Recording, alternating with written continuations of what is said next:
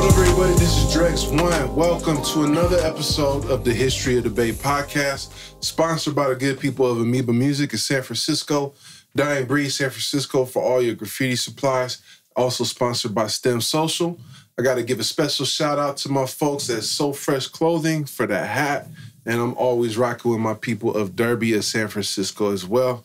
Behind the lens, we got King Ced. On the boards, as always, is DEO. And today, we're hitting you with another special guest. This young man is a part of one of the biggest waves to ever come out of the Bay Area. He stands on his own as an amazing artist that has all the accolades that you could think of in the rap game and is still out there doing his thing. He's a former member of the group SOBRBE as well as an accomplished solo artist. And of course, I'm talking about the one and only Yhung T.O. What is it? What's up, brother? Man, I'm cooling. Thank you for being here today, For man. For sure. Appreciate it. Uh, yeah, so an honor to have you on the platform. We had uh, your former group member on here. Uh, we had your former manager on here. Yeah, for sure. Um, shout out to Kilo Kurt and Lil Kilo Kurt, also Yeah. friends of the podcast. And so we are talking about off camera about telling the whole story. And so now I'm glad you're here to tell your part of it. Hell yeah. Let's do it. Like I always do, we're gonna start at the beginning because this is a Bay Area podcast. People need to know what it's like growing up in these different parts of the Bay. And sure. you are from Vallejo, Vallejo, yeah. North Vallejo, correct? Yeah, North Vallejo. I'm I'm I'm from Vallejo in general though, but yep, I was raised in the north for sure. So your family moved around there. You got Yeah, family so- in different parts. Yeah, for sure. So I was born in uh uh Sutter. You feel me? That's in the V. I was born in Sutter. Um, I first lived uh, in the east. Uh, what was it? I think it's some nine nine five Yorkshire or something like that. I lived in the east until I was probably like I don't know two or something like that. Then I moved to American Canyon. I lived over there for a few years until I was probably like five or something like that. Then I moved to Rancho, which is still which is all north uh, of Vallejo, but American Canyon kind of outside of Vallejo. But I moved to uh, Rancho. That's um till I was like for like two years. I I went to Dan Mini out there um for kindergarten in the first grade, I think, and then I moved back to the east again, and I went to Pennycook from like probably first, second grade. And then that's when I moved back to North Vallejo. I moved to uh, 310 Notre Dame Drive right across the street from Solano Middle School. And that's where I was at ever since then before I moved to uh, to Rancho again towards like the end of uh, high school, like 11th grade. But from sixth, from third grade all the way up until like 11th grade, I was uh, in the North. So you got to, to see and experience different parts of Yeah, the city. the whole V. You feel me? And then my my my pops and them, like they side of my family, my grandma, she lived in the east up until recently. She just moved back to Arkansas. Cause that's where they came from. They came from Arkansas. But uh so she was living over there, but she like borderline east, borderline south. So you feel me? She was working up um, in the south at the laundromat. Um, it's a little laundromat they got in South Vallejo. So, you know, from a kid all the way to, you know, I left and came back, I was strictly in Vallejo, you know? So for someone who's never been to Vallejo, because I'm from Frisco, I honestly don't know that much about Yeah, because it's real small. right, and it's kind of farther out from the city. Um, what is what would what would you describe the differences between East Vallejo and North Vallejo? Um, really, the whole Vallejo is kind of the same. Okay, honestly. It ain't really much of a difference. I'd say, uh, um, it ain't really much of a difference, bro. Like, because it's so small, like you can't even like you unless you from Vallejo, you wouldn't know the difference between the east, south, west. It just it's so small, bro. You you you wouldn't really know. got you. But it ain't really it ain't really no difference. It's all the same. Well, it's interesting. Uh, for whatever reason, we've had a lot of guests from Vallejo on the podcast recently. Uh huh. Kilo, we just had uh, Sugar Wolf, Lil Russell, um, Nef the Pharaoh, Sleep Dank. Okay. Um, What would you just again for someone who might not be familiar with that city? Like, what would you since you say it kind of all looks the same? What how would you describe the overall culture of Vallejo that you grew up in? Man, I say Vallejo is kind of like a. It's kind of like if you if you kind of know the difference between like a town and a city. Vallejo is more like kind of townish. Like it ain't really city. It's real slow. Like if I could describe it, I'd describe it like that. It's real slow. Everybody kind of know everybody. It's real small. Like you feel me? It's ain't much to do. So anything that there is to do, everybody from every side gonna be doing it. You feel me? I don't know how it is now, but like in my generation, that's how it was. Nowadays, like when we grew up, it wasn't like it wasn't no politics. It wasn't until my generation and a little bit younger than me that and down where politics was created in our city. So me growing up, it wasn't no politics. So it was different. Like from every side of every city, we all going to the same places, the spot.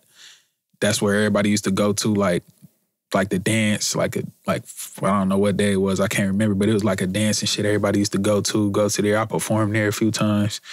Cause uh, when I was younger, like as Mac One, when I was going by Mac One at the time, I performed there a few times. So it really wasn't much to do. And then if it was like parties and shit like that, like you know, it'd be parties and shit like house parties and shit, or hotel part motel parties and shit like that. Like everybody from every side of the city gonna be in there, you know, because it wasn't really much to do. So if anything happening, everybody there.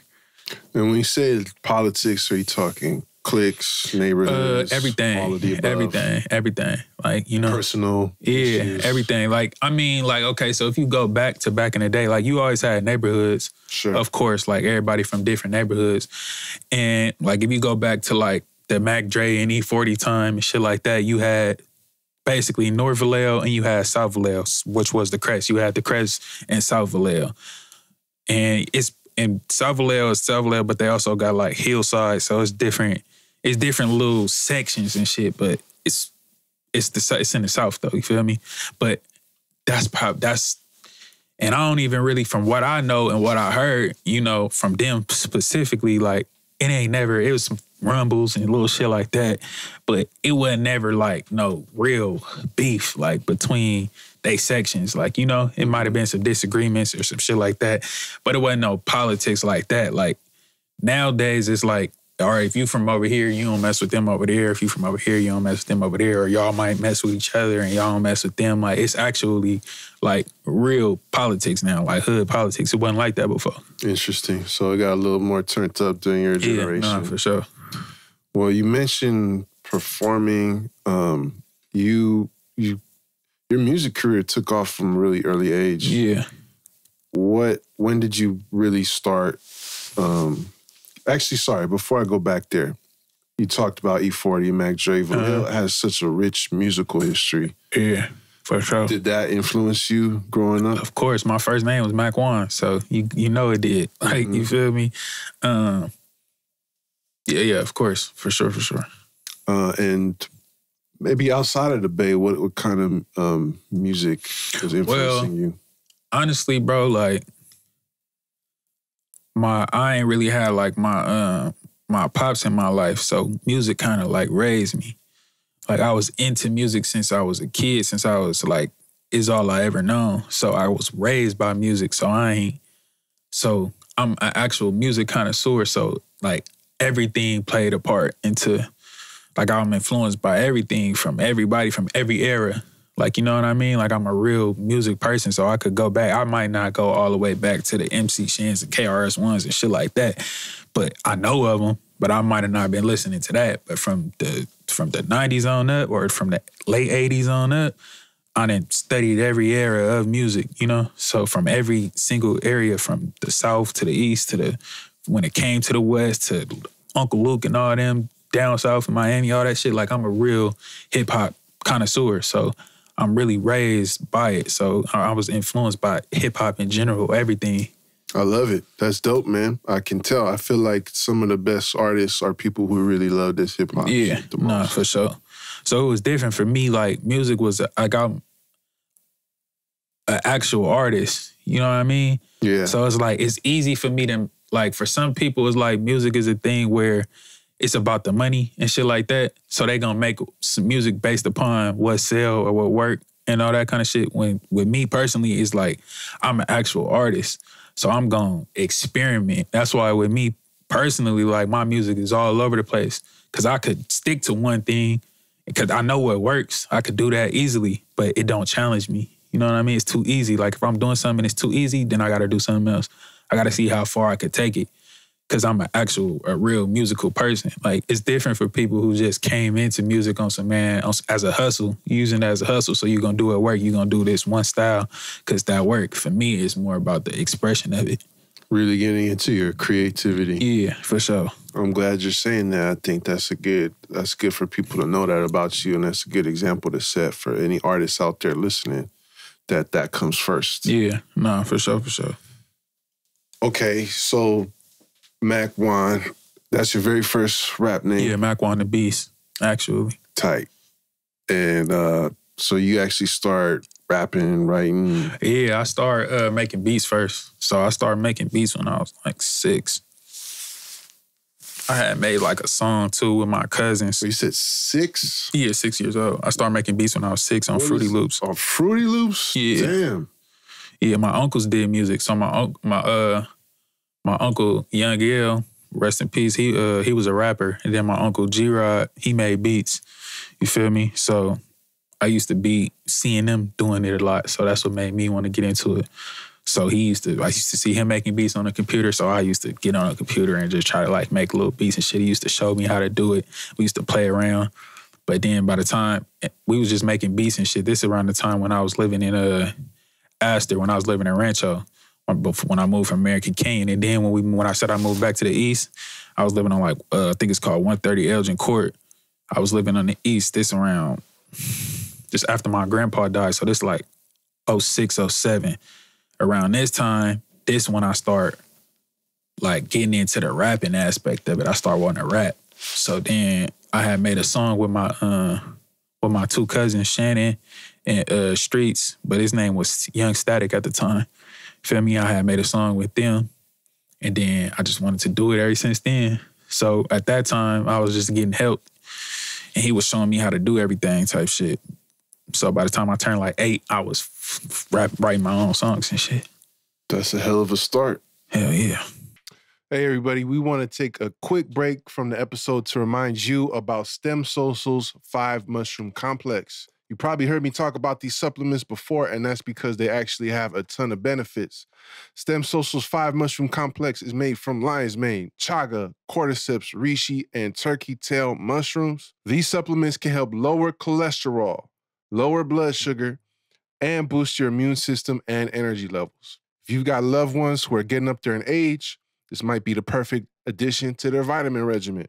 Or if you're looking for a boost in your own routine, check out Stem Social's 5 Mushroom Complex. You can visit stemsocial.io or go to the links in the description. This episode of History of the Bay is brought to you by TPP in partnership with Lost Soul Courier Collective. Last year, over 800 people in San Francisco died from drug overdoses. This is a serious problem that affects our entire community. I've personally lost several friends to overdoses, and many of us know people who have been impacted.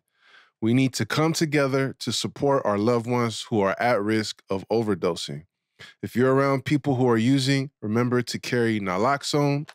And if you are in need of naloxone, you can get free delivery in San Francisco from Lost Souls Courier Collective by calling or texting 415 275 1922. For more information, contact Tracey H415 on Instagram or visit lostsoulcouriercollective.org. You can also get the links in the description of the episode. Uh, was your style always melodic? Um, sort of, kinda, yeah. Like it was, it was, it was, it was like my shit is still on YouTube. You can actually go listen to it like right now. Like I had a song called Twenty Three I. Um, I was rapping. I was doing more rapping, and I was kind of like more like introspective, you know, because at them times it's like a nigga can't cuss, a nigga can't. So Mm. I was more on some introspective type shit. And then just some kid shit. So I was rapping about video games and basketball and That's dope. you know, Yeah. like throughout every era of my shit, you could listen to and you could see what I'm on. Like I ain't never got on the music and did no cap shit. Uh huh. You feel me? I, when I came into music, it was about being authentic. So I might experiment with the sound, but I'm never gonna experiment with the topics. I'm gonna tell you the real of what's going on. It might sound different. I might give it to you in a different way, sing it or do some trap shit or do this shit, but I'm still talking about whatever I'm going through or whatever I'm on at that moment. Where does the melody come from? Because I feel like you were pretty far ahead of the wave with that kind of style of rap. Yeah, nah, for sure. Um, it came from a few different places. So I say first, like 50 Cent. Mm-hmm. So that was like one of my first. uh, yeah, that was my first Mhm. influence. Like, was Fifty Cent. So that kind of, if you know Fifty Cent, you know that melodic shit. So Yep. A lot of my music was like based like that. So it probably started there. Um, I'm trying to think, bro. I know that was for surely because I could remember that. That for sure. I had the No Mercy uh poster up on my wall and everything. It's like 2006.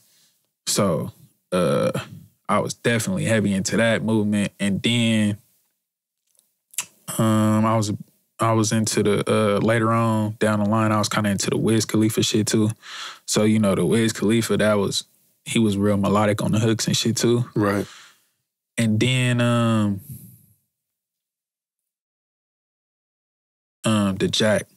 I was wondering if you The were Jack. say Jacka. The Jack. Because I feel like him and Husalah were way, way, way, way ahead of like the Yeah. Drake. And, yeah, and I say I say Fifty Cent, and then I say Jack because Mhm. Wiz Khalifa came on later on down the line when I was in like middle school. So I was as as in elementary school, the Jack for sure. Because my uncle used to slap that shit. He had a, uh 78 Camaro used to be slapping hella Jack and shit in there, and and uh, closer to my dreams, Guapale. You feel me? So that's where that came from. So that's originally where it started at. I say like the melodic shit. That's where it, that's where it started at. But where I took it overboard at was around high school time. I started list. I was um listening to uh Jacquees at the time. Yeah. I was listening to Jacquees at the time. So I was like, it was really some funny shit between me and my my cousin, my brother, Young Wayne. It was some funny shit between us. It was really on some like, man, I'm finna start doing some. And of course, Nate Dogg. Of course, a nigga grew up listening to Nate What Dogg. about uh, Mac, Max B? You ever listen to Max B? No, B? I ain't never listened to Max B.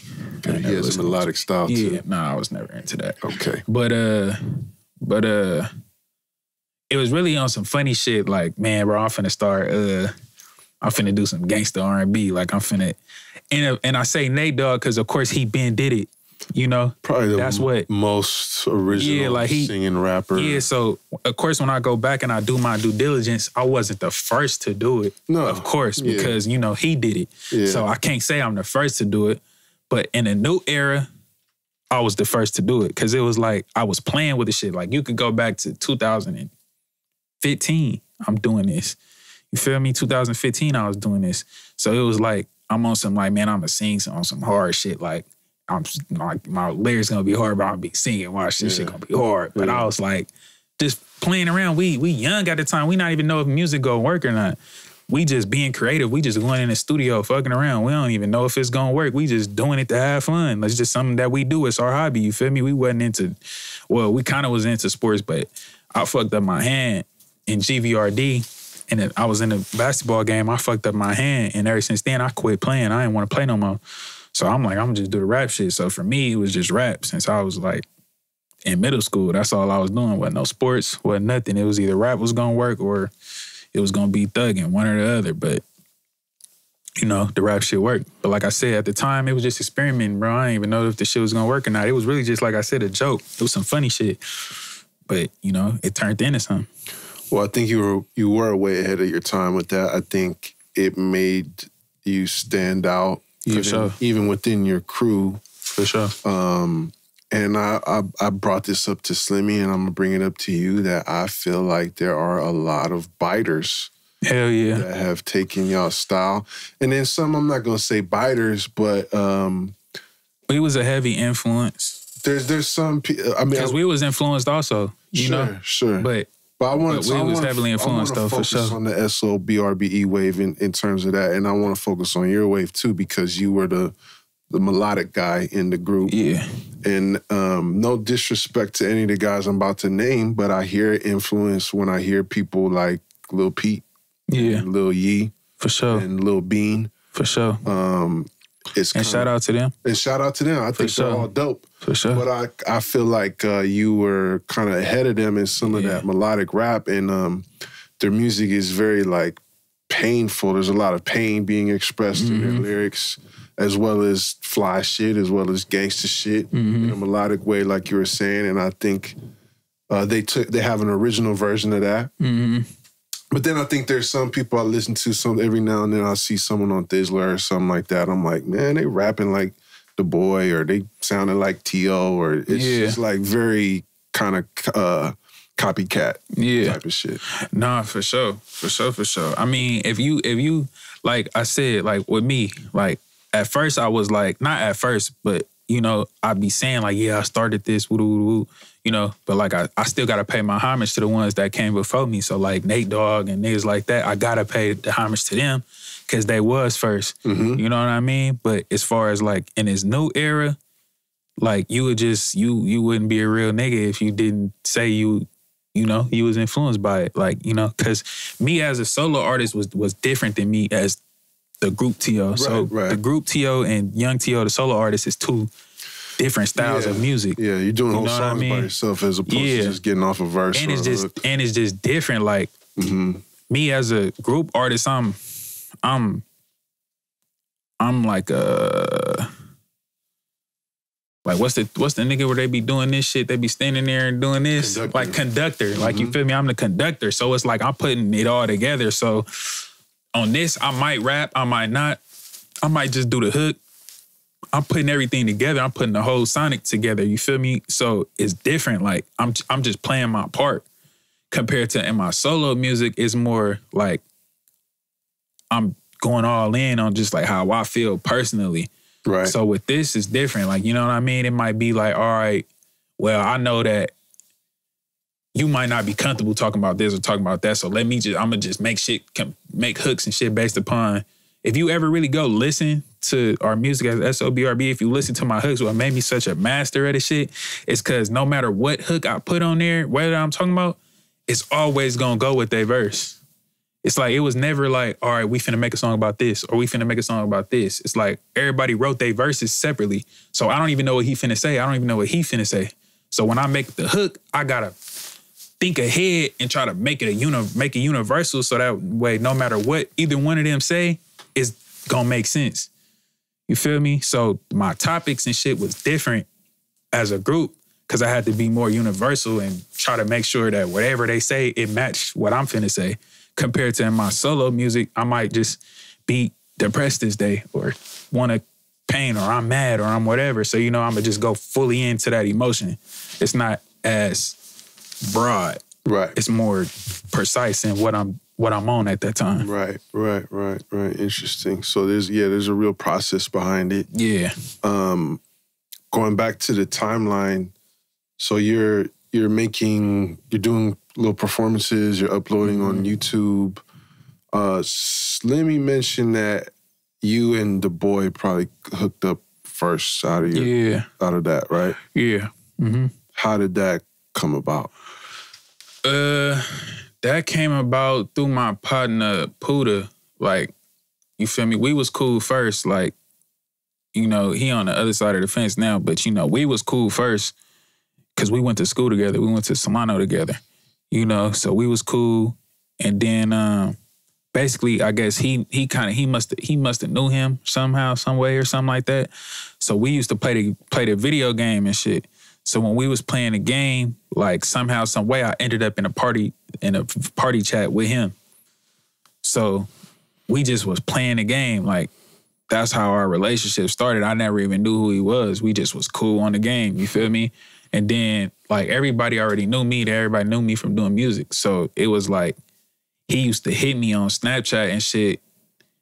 Cause I used to post my songs. He used to be like, bro, it's hard. Like, oh, this hard. Keep doing this or doing that. Like, you know, he used to tap, like, that's how he used to uh, tap in with me. So then one day we was on a game and he had showed me a he had like a little freestyle thing on SoundCloud, like him just rapping in the phone type shit. Over, I, it was like a YG some YG song or some shit. But he was playing like saying just hella dumb shit. But his voice though, I'm like, I'm like, man, bro, I ain't gonna lie. Like I was listening to the to your to the to your song because uh, at the time I'm young, bro. So people not really trying to hear me. Like motherfuckers don't really care what I gotta say at the time because I've been rapping since I was little. So at the time I'm not. You're like what? At this time I'm a little bit older. I'm Okay. like. Shit, I don't know. Maybe 14, like 14, 15. Still pretty young. Yeah, I'm still young, but I ain't cussing yet. Right, type shit. right, right, you know? right, right, right. So they older than me. So at this time, you know, I'm I'm just known as Mac One. So, you know, I'm not really cussing in my music or shit like that. So, you know, people knew me, but it wasn't like so I used to get older, older niggas that could cuss and say all the shit that I want to say, really. And I used to put them in the studio and then I get on song, then I had them get on there and do their shit. So then that way they could get get the crowd of people that I'm not getting because they could say the shit that I can't say. They could cuss and shit. You feel me? So before before that came, I had started my first group with uh, RBE. It was me, Sneak, um, Young Wayne, and my cousin Flex City Streets. You feel me? We started it first. Like I started with them first because they was all older than me, except for Young Wayne, of course. But they was all older than me and they could cuss and shit. So I started that group. But first we was doing it. We was just doing local shit though. We was local, you know. We was doing Six Flags and the fair and little performances like that. Like we was just doing local shit. We wasn't big or nothing. But um, it started like that first. So I'm already in the like the the CEO mindset of like getting other artists and then putting them putting them in the studio and shit like that. Cause I'm like, nigga, y'all can say the shit I can't say yet. And then so when I hear his shit, I'm like, oh, this would be perfect. Like I need to, like, bro, you ever thought about really taking this shit serious? He like, hell nah. Like this at the time, I think he even graduated school yet. He was going, he was going to Benicia High at the time. So he like, hell nah, bro, woody whoop. I'm like, I'm I'm I'm doing this basketball shit, woody whoop. I'm like, all right, it's all good. But then we used to joke around and shit. I'm like, man, bro, they not even putting you in them games. Like, nigga, you might as well fuck with this rap shit. Like, that shit ain't like, you ain't finna make it in basketball, bro. You should just do this. Like, that's what I'm telling you, because I'm trying to have him start rapping, get into the stew and shit. So then he like, man, I don't know, I don't know. So then his, I guess his his partner, uh, Kyrie at the time, he ended up getting a little studio. So they was just playing around type shit, making little songs and shit, playing around. And uh I had seen him making a song one day. He had sent me one of their songs they made one day. I'm like, okay, so you finally getting in the stew? He like, yeah, bro, I ain't really taking this shit serious. Bro just got a stew at the house, so we just be playing around in this shit. So I'm like, yeah, bro. Uh, I'm like, all right, it's cool. I'm like, uh, he like, but he don't really know what he doing. He like, uh, you should come through. You should come. I'm like, uh, I'm gonna come. Let me come through. I'm gonna, um, I'm gonna put him on game. I'm gonna show him how to do this shit. What, what he working with? He got Pro Tools. He like, nah, he don't even got Pro Tools and this and that. I'm like, all right, shit, fuck it. I'm gonna pull up. So, um, this the first time I actually meet him in person. Wow. So we've been talking all these years. He knew everybody I knew. For I knew everybody he knew for years, bro. Wow. Like two years. We've been you know, Snapchat and on the game, all kind of shit, PlayStation for like two years, but never met each other in person. So this like 2015 now. I meet him. I finally meet him in person at the at uh the nigga Kyrie house or whatever. You feel me? So then he showing me. He showing me. Uh, I go in there, whatever they doing, little shit. He got some cool equipment and shit, but it's like I'm like, man, bro.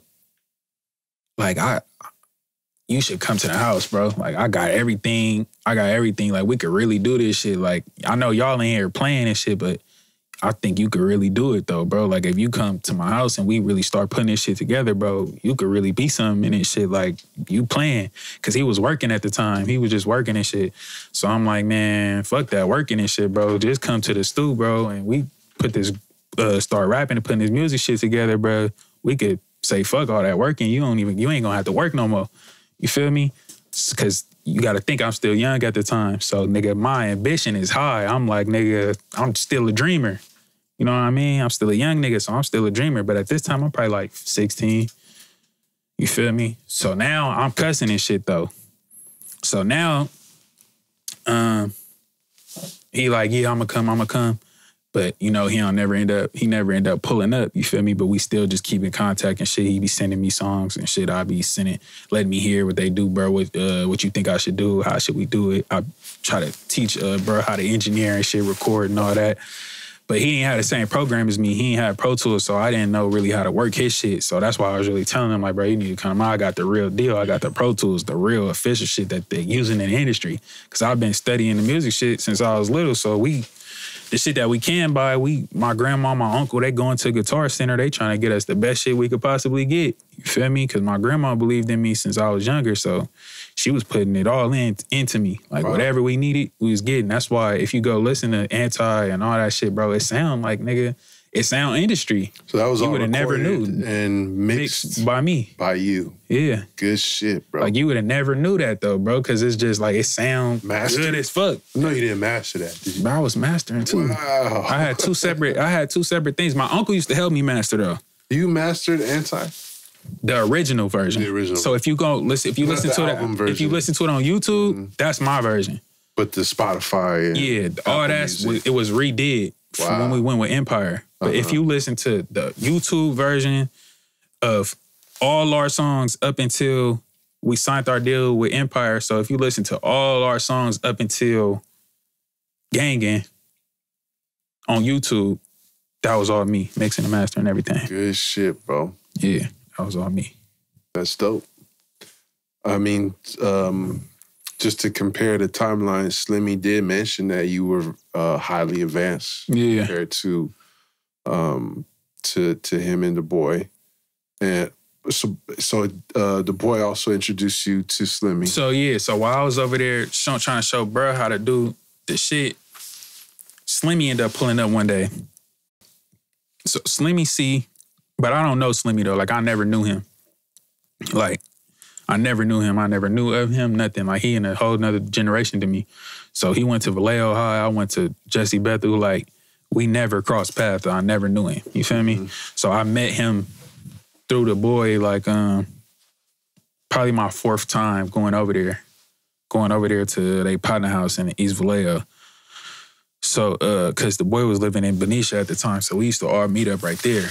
So, um, when I uh when I met him, he like um he like, bro, I'm finna come pull up on you, cause he like, man, these niggas playing like this shit, like. You got the real studio? Like, fuck, I'm finna just come to your shit. So he came to my uh he came to my studio and then um I'm not gonna lie, let me think.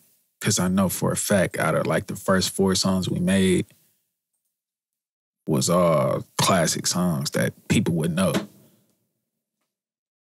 But the first song that we probably dropped was um cause some shit got leaked too. So the- all the music is out there. But the first one was Cautious. That's the one we shot the video to yeah, but we probably recorded I could never uh we had a song called uh KO or something like that. We recorded um anti. We did all that shit in like the first month of him coming to my studio. Like anti I ain't even we ain't even like that song. Me and him didn't even like that song. We didn't even want to do that song. But it got leaked out and everybody like, oh y'all should shoot that, y'all should shoot that, y'all should shoot that. So we ended up shooting it, but we wasn't even gonna use that song, shoot that song, or nothing. ain't Like, that song platinum now? that song platinum now. So it was just crazy how that shit worked. Like this is in the bro, this is in the first month of us meeting each other. We recorded, we we made a platinum song, bro. That's nuts. You feel me? So I'm like, Some people rap their whole lives and never get that. exactly. So I'm just like, so that shit was it was Why legendary. like that, DL? Just because you got a platinum plaque over here, man. That was Yeah, that shit- that shit was legendary, bro. So so he came to the stew, and then cause really first it was just kind of me and him, like we was recording shit, and then once we start, once we sent a few songs to the group chat, uh, DaBoii heard them. And he was like, "Oh man, y'all niggas going crazy! I'm about to pull up." Like, so then he ended up pulling up, and then I ended up recording his song. He had a song called uh, "100 Bars," It was like the first song. It's still on YouTube. It was like the first song that we dropped. Cause at the time, this before we even dropped anything, I was already RBE. That was SOB. But at the time, um, they had some shit called uh uh uh Detroit. They had Band Gang Yeah. at the time. hmm So I was seeing how they was dropping, and they was all Band Gang. Yeah. So I was talking to, uh, to DaBoii. I'm like, bro, we should just make it SOB RBE. Well, really, it was RBE SOB at first. That's why if you listen to the tag, it say RBE SOB. That's the gang. Because at first it was RBE SOB, but then um, when we made when he made the YouTube channel, he just put the SOB first because he was SOB. So he put the SOB first, and then put the RBE last. So that's how the SOB RBE came about. Because at first it was RBE SOB, but you know he changed it. So um, when we made the YouTube channel, that's basically how SOBRBE came about. About because we made the YouTube channel. So it was like it was nothing like it wasn't nothing but a talk between me and him. Like we decided that this was what we was gonna do. You feel me? So once we did that, we made the YouTube channel. We dropped the first song, which was hundred bars. People was fucking with that. Then me and Slimmy dropped Cautious, but I think Cautious might have went on on uh the cameraman channel. I could be wrong, but I think it went on the cameraman channel. And then I, re- I I recorded another song of the boy called uh Can't Tame Us. And once we shot that video, that's when it was like um we kind of all linked up for that video. So while so when we linked up for the video, it was like a it was a, a Lul G. I I been knew Lul G. We went to Solano Middle School together, and we went to Loma Vista Elementary School together too. So I knew Lul G since elementary school. So he ended up pulling up that day, and um, we was all just talking and shit. And he was like, "Man, I'm trying to rap too, or whatever." Woody woody. So at this time, I'm like, "Man, we got the SOBRBE shit going." I'm like, "All right, just pull up to the studio," because at this time it's just me. Well, everybody that was trying to rap, they used to come to the studio, but but the only people who was like really taking it serious was me, DaBoii, and Slimmy. But it, at the time, it was really just me and Slimmy recording songs. That's why if you go back and you listen to like the early songs, it was just me and Slimmy, and DaBoii had all his own solo songs because he was working at the time. So he used to just come to the studio when he got off work. So all his songs was kind of so was solo songs. I used to just like he used to come to the studio. We'd pick a beat or some shit, and then like I used to help him do his songs like how to rap and shit like that because he used to be fucking up all the time. So I used to have to help him like rap and all that, get it, get the flow down pack. We used to go through that shit, bro. I'm talking about till five o'clock in the morning, bro. I gotta go to school the next day. Well, you're advanced. I mean, you're starting making beats when you're six, so I Yeah. can see why you're Yeah. you just got this shit figured out a little more. Mm, yeah, so we used to, so I used to do that. That's what we used to do. He used to come to the studio, like when he get off work. We used to be in the studio till like five o'clock in the morning. I used to, like the the key thing though, he used to have to bring me a fuck. I used to tell him, like, bro, if you gonna pull up, you gotta bring me a, a McDonald's frappe or something, cause I, cause bro, the nigga used to have me up till six o'clock in the morning, bro. I gotta go to school the next day, so I used to miss first period every day, cause nigga, I'm in the in the um Cause I was driving my grandma car to school at the time. I was I was fucking sleep in the parking lot. Cause I'm tired as fuck. I didn't go to sleep, man, cause I'm up recording him all night, which is crazy. That's why I salute my grandma so much. Cause it's like anybody else, else would been like, nigga, take your ass to sleep. What is y'all doing in here? Da, da, da. But she just believed in it so much that I never even remember a time of her complaining. You feel me? So, um, he was just doing solo songs at the time. So he had the uh um, I think the first song that we did all together was Game On. But at the time he had 401 degrees, I think, Can't Tame Us, the 100 bars. Then somewhere in the line, Calvin Cambridge came apart. You feel me? Because at first, Calvin Cambridge was just a freestyle. So I ended up, so I changed the whole shit. I made the ganging, ganging, bitch. I be ganging. I made that a hook. I rearranged his shit, made his shit into verses. You feel me? Cause at the and then when I played it to him, he like, hell nah, bro, this ain't it, bro. Like, why you why you keep bringing that ganging ganging bitch? I be ganging back. I'm like, bro, it's catchy, bro. I'm like, you just rapping, like all you doing is rapping. That's not gonna hit. Like if we we make this the hook, bro, they gonna this gonna be hella catchy. People gonna be saying that shit. You feel me? So then we end up doing it and end up working, bro.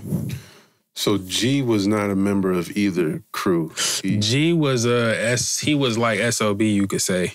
Just He was sob. You know, I'm. I when we reconnected, he was sob. So okay. so so at the time, G was just getting out of jail.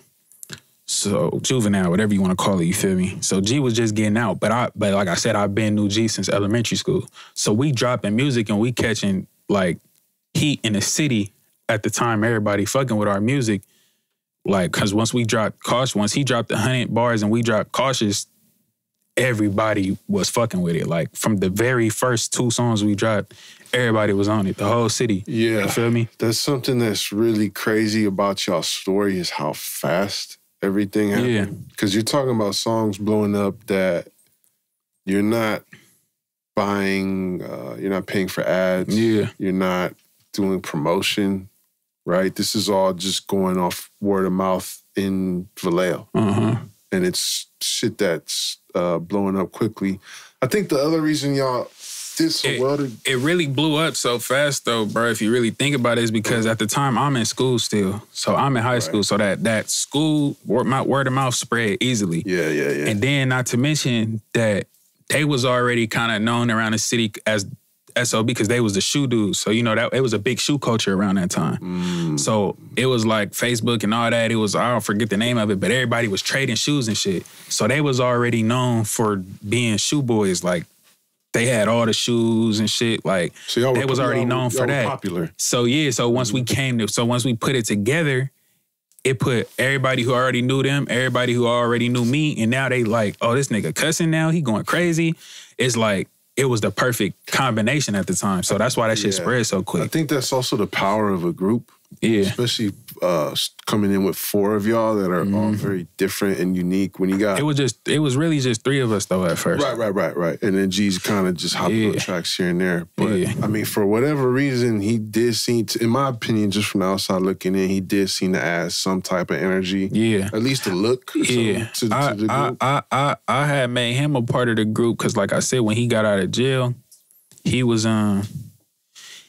He used to always, he used to always be like, "Bro, T.O., bro, I knew you longer than all these niggas, bro. Like, you gotta help, you gotta help me, bro. You gotta show me how to rap, bro. You gotta put me on some songs, bro. I knew you the longest, bro. Da da da da. So, but he never wanted to record in front of nobody. So everybody used to have to leave out the studio, and it used to just be me and him in the studio, and I used to have to show him how to rap and shit. Like, you feel me? So we start doing that, and then, mm, it was probably lane changing. We did lane changing. So once we made lane changing, then it was like uh, bust out, I'm not bust out a bitch. Like that was the key line. Like everybody liked that line. So, uh, so then I was like, all right, bro, you you could be a part of the group, bro. Like you feel me? Like all right, you you might got something. Like you could be a part of the group. Cause at first he wasn't a part of the group. Like I just Yeah. was helping him rap because he kept begging me, like, bro, I knew you the longest. All these niggas, bro, you gonna help them and not me. So I'm like, all right, bro, I'm a I will come to the studio, bro. So that's how that ended up happening, and then he ended up becoming part of the group. Um, what you mentioned earlier about But also another thing, bro, it was never really a group. It never Right, really right, right. became a group Right. until Stretch and them came. They the ones who really kind of ma- turned it into a group. right, it's just diff- peop- two Yeah, two like people from different crews jumping on Yeah. songs. You got this combination here. You got solo right. songs, but not even this, two different crews though, bro. It was just a group of partners just making music together. You feel Yeah, me? like Like, it's like, like ASAP, like like a ASAP Mob. That's how I used to try yeah. to like ASAP Wu Tang Clan, some Right, shit like right, that. You know what I mean? Like the Uh, fact that it was SOB X RBE is what fucked it up and made it go how it went down the line. But like for instance, if we would have just came with a brand new name, it probably wouldn't have went the way it went. Cause since it since we made it like that, it was always divided. Like you had us who believed we was both, but you had RBE niggas and SOB niggas who just was SOB and just was RBE. You know what I mean? But if so, we believe we was one, but all our but niggas around us never was really into the us being one thing. It's a- Not everybody. It's a similar thing to what Slimmy said, uh, and it also kind of ties into what I was just about to ask you. Um, this is an interesting thought that just occurred to me as you were mentioning that your generation became started turning up more and more politics started coming into play and um, things got kind of many in Vallejo, right? hmm Um, how did that? Because you can kind of hear it in your lyrics. hmm Y'all are talking about some serious shit. How much is that starting to impact the shit y'all making? Like, is that is the music you're making like a reflection of what you're starting to see happen around you? Uh, the music was just a reflection of what was going on, what was being done. mm-hmm. You feel me? Like I told you, I was a, I was always into music, but like I felt like motherfuckers wasn't really fucking with my shit because it was just too kiddish, I guess you could say. Right. So around the time like when I turned 15, I was influenced by my older cousin and shit. So I always was doing like little shit. I almost got uh, expelled in um, seventh grade. So I had went on independent studies. So I was always doing like little shit, but it got to a point to where it just was like, you know, my grandma always made sure we were straight. Uh, we had a roof over our head and all the good shit, but it was the accessories and shit. So I'm looking at everybody else. They got this, they got that, and I don't got that, and I'm trying to rap and shit. So I'm like, man, I need all the good shit.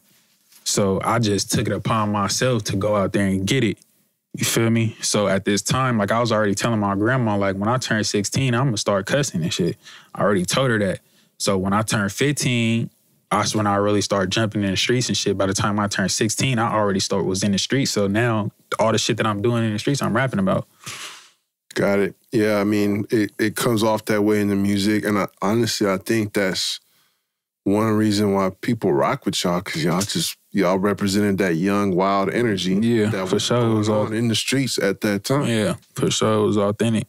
Um, okay, so uh, you mentioned some of these songs, Lane Changing, Calvin Cambridge, and then you did mention Stretch. Mm-hmm.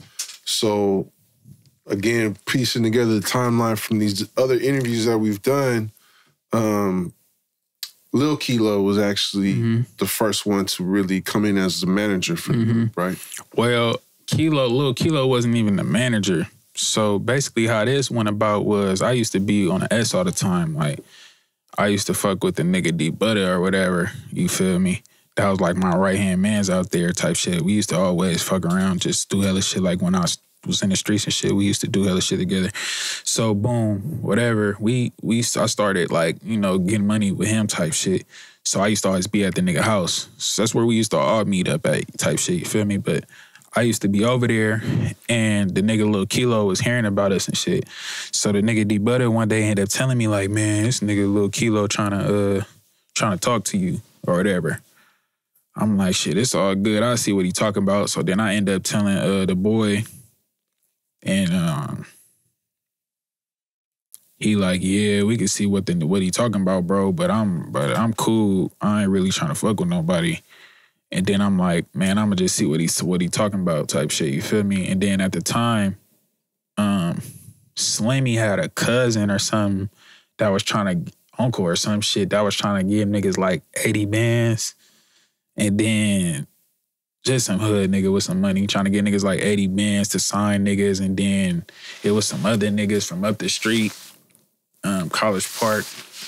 They was trying to sign niggas, but I felt like they I ain't I ain't really take the shit serious because I felt like I had bigger plans and shit. So Slimmy was kind of leaning towards, bro, we need to sign. My uncle got 80 bands for us. You get what I'm saying? So he on he kind of on that type of timing. So I so we end up meeting with the nigga little Kilo or whatever. I don't even know if we met with the nigga. I think I pulled up and I and I talked to him. And he started telling me about Stretch. He like, yeah, uh, he's bringing up the this shit, all this, his pops and shit. He introduced me to his pops. His pops started telling me about how they did all the Mac Dre shit and all that. But at the time, you know, I'm just looking at it like, oh shit, Mac Dre. But you know, in the crest or whatever, they look at it a little bit different. So they was kind of like they kind of taking it as a joke, like, oh, nigga, you gonna let you oh, you fucking with Big Kilo, you gonna you gonna get this. Like that's what they used to call it. Like it's like a bad term, like, oh, you gonna fuck you over type shit. Like whatever. That's the joke that they had in the crest, you feel me? So at the time, they kind of like they don't really want to fuck with it. They like, nah, bro, like it's bad business attached to that. We we shouldn't do that. That's, that's what the older niggas in the crest is trying to tell us. All other rappers who went through Thizz that didn't. Yeah, that didn't whatever didn't shit went off, bad for them or whatever. So they just you know start was throwing salt on him or whatever. But I'm like, man, I, I've talked to him. I'm seeing me like he seemed like he was a cool, genuine dude. So they trying to like kind of telling me like, man, um, just don't like just don't mess with his pops. Like he cool, but just don't mess with his pops or whatever. But he ended up introducing me to Big Kilo and shit. Big Kilo ended up taking me to uh taking me to um the grill. It was a studio, you know yep. what the grill is. So he ended up taking me to the grill. This is the first time I'm mm-hmm. not probably the first time, but the first time I probably recorded in like a real big studio. You feel me? I just was at home type shit. That so a fly ass studio. Yeah, so mm-hmm. that's the first time I went to a real studio. So once he took me to the studio, I'm like, oh, these niggas got some shit going on. Like, you feel me? I ain't never been in a real studio. I'm juiced, nigga. I've been recording myself all the time in the garage, making my own studio. So I'm I'm juiced. I'm like, all right, cool. So at first, how it started was the nigga Lil Kilo was like, man, let me put you on a let me um I'm I'm I'm trying to do this show promote uh promote these shows. I'm trying to be a promoter. So I'm like, he like, man, let me throw this show. So I'm like, all right, yep, it's good. Let's do it. Whatever, boom, boom. So he put the little show together at the Boys and Girls Club. So we do that, boom, the shit packed out crazy, like crazy shit. But with us already being like in the city and shit, all the crest motherfuckers came and whatever, and then didn't want to pay and all this and all that. So a lot of the fans that wanted to come in and pay the money, they couldn't get in hmm. because all, it's the homie pass. Hella homies in there and all that shit. Niggas ended up thumping in that motherfucker. All kind of crazy shit went down. So we performed like two, three songs. Then they, the police shut the shit down. So he ended up telling me like, man, bro, I ain't even really making no money off the shit. Like I can't even really pay y'all. He might have gave niggas like a hundred dollars or some shit, maybe two hundred dollars, maybe. But he like, but I know I know this nigga stretch, bro. He he he do all the big shows, bro. He could get he could get us some shows, da da da da. So he kind of like went brought stretch in as in like a my bad, I fucked up on the show shit. Like I can't I can't pay y'all, but to pay y'all instead, I'm gonna introduce y'all into him. He got he got big shit going on. I'm gonna bring him over. You feel me? So I'm like, all right, cool, that's whatever. At this time, since niggas didn't get paid from the show, niggas is set on some, yeah, we finna go sign with Bruh for the 80. Well, Slimmy is, he like, yeah, we finna go sign with Bruh for the 80. Like, this nigga on some chimney shit. We told you he was gonna be on some chimney shit. But I'm still on some like, I don't really wanna sign to no street niggas. Like, I'm cool type shit. So, lane changing video, they come. Uh, Hanny, because that's also a key name that they didn't bring up into the whole situation too. Was Hanny? Mm-hmm. Hanny was a, a, a, a, part of it also. So um, I think Stretch Stretch mentioned that. I don't think he mentioned Hanny. Oh no, that's, that's okay. Okay. Hanny, that's yeah, yeah, that's that's the name that they that they left out was Hanny. Gotcha. So uh, so Stretch and Hanny pull up. They pulled up together. So boom, we meeting them, but at the time, like they on some like like I said, Slimmy trying to sign to his uncle or whatever for the 80. So he on some like really like, man, fuck with them niggas talking about whatever. Like, they could wait. We finna shoot this video. So we shoot the video, whatever. Like he kind of giving him the cold shoulder or whatever. Then we ended up talking to him, whatever. They like, man, let's let's, let's sit down and have a meeting. So we ended up meeting at like Applebee's or something. I think it was Applebee's in the V. We met at Applebee's. It was us three, do not think G was there. I could be wrong. G might have been there. He might not have been there, but I think it was just us three. And um, I don't know if Stretch was there or not, but I know Hanny was there. And Lil Kilo could or could have not been there. I don't remember. But he basically sat us down and was telling us, like, man, um, yeah, bro, I could help invest in y'all. Woo woo woo. Like we could we could get y'all the empire, all this. So this is this is how the how the SOBRBE group and label shit end up becoming formed.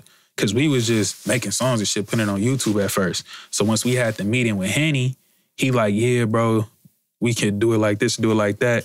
Cause at first, uh, excuse me, at first, Big Kilo tried to take us to a uh, to a lawyer in Walnut Creek, but um and do some paperwork and, and, and did some paperwork or something like that with us, tried to make some paperwork with us or something. But we was like, nah, we gonna hold off. Uh, we didn't we didn't do no, we didn't sign it or nothing.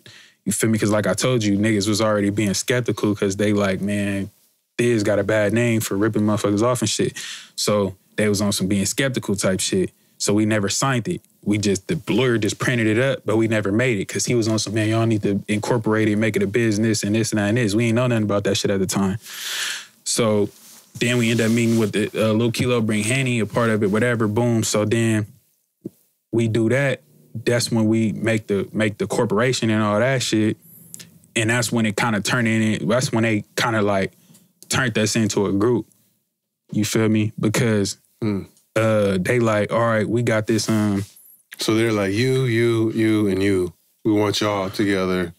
it was kind of like we was all. It's because when we pulled up, we shooting lane changes, so it's already us four. Right.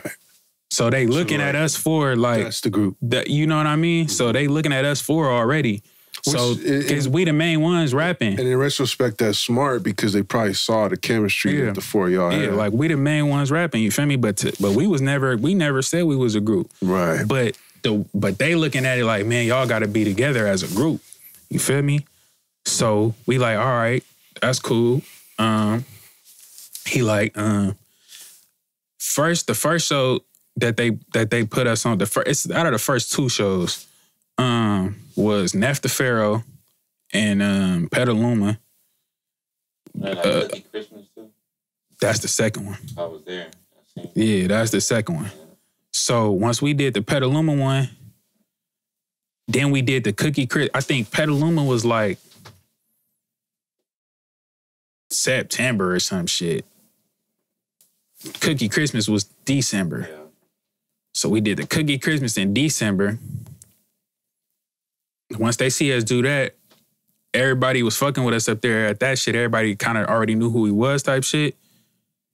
And it's the first time we kind of going outside Vallejo, seeing that motherfuckers is actually fucking with this shit outside of Vallejo. You know what I mean? So boom, we see that. Then they end up hitting us like um Hanny ended up pulling up because basically like Stretch was the was the the head figure, but Hanny was the one handling everything because Stretch was too busy to to deal with us on a day to day basis. So Hanny was the one dealing with us every single day. Like even though Stretch was doing the business on the paperwork side and all that, Hanny was the one that was actually with us. You feel me? So uh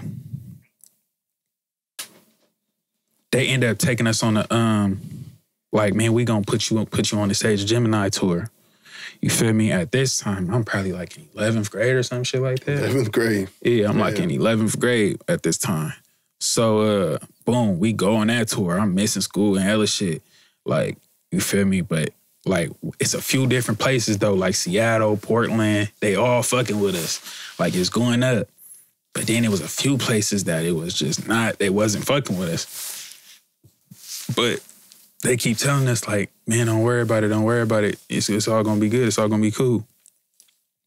So then once we do, once we come back from that, that's when they that's when it was set in stone. Like you feel me? All right, Hanny ended up driving us. We went to the to the lawyer or whatever. We created the SOB RBE E shit. You feel me? Then As they a, ended as up a label. as a label. We created SOB RBE as a label. Y'all, Then did all y'all have equal partnership shares in that? uh, it was me. I ain't gonna get into all that. I don't want to get into the. just. I don't want to get into the yeah. specifics of all that. But uh, we created that.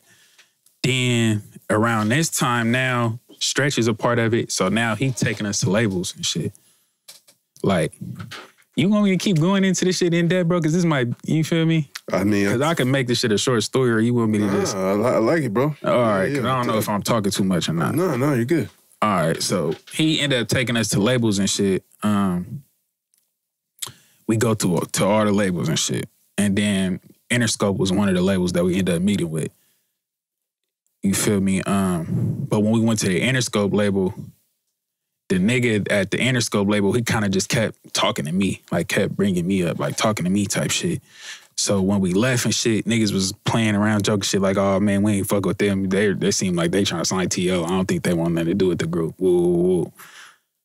So then we ended up um, coming back to the Bay Area. Uh, we ended up um, getting an offer from Atlantic, and then we got an offer from Empire. So I think me, G, Slimmy was kind of always been a whatever. Like we could like he kind of was going with whatever type of thing. Me, G was kind of like leaning towards the Atlantic. Slimmy was kind of like he would whatever, but DaBoii was like on some. Nah, fuck that, bro. We going to Empire. We finna keep all our shit. You feel me? Let's go to Empire. Let's go to Empire. So I'm like, at the time, like I said, I always wanted to be a rapper. So nigga, I'm looking at these big labels like, oh fuck. So he like, I want to go to Empire. I'm like, all right, fuck it. Cause you know, I'm looking at he big bro at the end of the day. To me personally, that's how I'm feeling. Like, all right, he big bro. I'm gonna go with big bro. He say, we going Empire, we going Empire. Boom. So we do the Empire shit, and that's how that came about, bro. Like, you feel me? And then like around this time, it's kind of like Lil Kilo still in everything, but it's kind of like at this point, it's like they kind of doing Stretch and Henny is kind of taking over doing everything. Like Kilo's still around, he's still there, but they kind of taking over and doing everything. So it was getting to the point to where it was like, you know, they didn't really want Lil Kilo to be a part of the shit no more. But I'm like, nah, fuck that. Like, y'all wasn't even finna fuck with this nigga. He the one who brought these, brought Stretch and Henny to us. I don't even know Stretch or Henny because at the time, me and Henny, we didn't really have a good relationship because I ain't really know him. I ain't really trust him like that. So he his joke in the beginning was like, "Oh, To don't fuck with me. He fuck with Lil Kilo. He don't fuck with me." You feel me? So anyway, when we did the when we did the shit or whatever, they was kind of like trying to put a little Kilo out, and they didn't want Lul G in either, because like I told you, they didn't feel they he really wasn't a part of the group, honestly. So they didn't want Lul G and they didn't want little Kilo in it. So uh, I'm like, nah, fuck that. You feel me? Little Kilo got to stay in it. Like you know, if Kilo ain't in it, I ain't in it. So that's how Lil Kilo ended up being a part of the Empire deal and all that shit. Uh, looking back on it, what do you think of that decision? Keeping your your masters. Um, it was a great decision. Uh-huh. It was a great decision. Wow. It was a great decision. I ain't gonna lie, it was a great decision. You feel me? Wow. That's the reason why niggas still don't got it. I could sit back on my ass today because of that decision. Nice. you feel me? So that was a great decision. You feel me? Shout out to the boy for that. That was a great decision.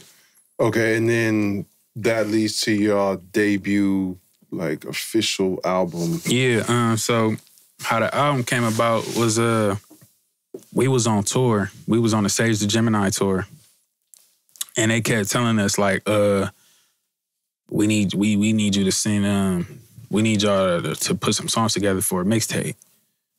So we like uh just take all the songs that's on YouTube and put them on the project. Mm-hmm. So that's These how. are songs that are in the millions of views. Yeah, yeah, yeah, yeah, yeah, yeah. So we like just put that on a project, like, cause at this time nothing is on streaming services. We don't even know nothing about streaming services. Everything is just videos on YouTube. So um, we like fuck it, just do that. At the time, like we not really, we not even caring about this shit, cause like I told you, we didn't even, we didn't even, they didn't even really um want to fuck with Stretch and Henny and all that. So we kind of just on some like, man, fuck what these niggas talking about. So uh Stretch had me send him the sessions to the songs and shit. Then we was like, we was we was getting mad and we was going back and forth with him because we like, bro, the songs already mixed and mastered. Just put the songs on the album. He keeps saying like, no, bro, we need to get it done professionally. You feel me? So at the time, I'm just on some like, man, I don't fucking like, I don't really know how this shit work, whatever. And then I'm not knowing the abilities that I got. So I'm not knowing, nigga, I am doing this shit professionally. I'm just looking at it like, all right, fuck it. He say we gotta do it professionally, we gotta do it professionally. So then that's when I guess he sent it to Dre and had Dre mix it. But if I would have knew what I knew now, I would have never let them do that. Cause now it's like this nigga get the credit for making some shit that I did. Yeah. You get what I'm saying? So if I would have knew what I knew now, I would have never let them do it. But because even when when they did it at the time, we was hella mad. We was in Utah. We was in this we uh because we had split up.